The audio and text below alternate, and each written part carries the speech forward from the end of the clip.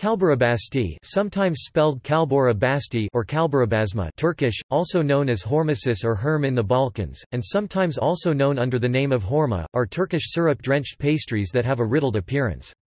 They are featured among the favorite specialities that are prepared during the Islamic holidays, including the three-day Eid al-Fitr called Seker Bayrami or candy feast in Turkish language and Eid al-Adha.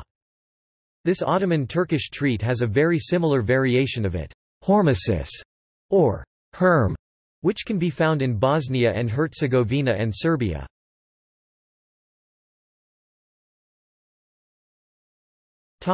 See also. Melomakarono Şekerpare Revani Baklava. Tulumba.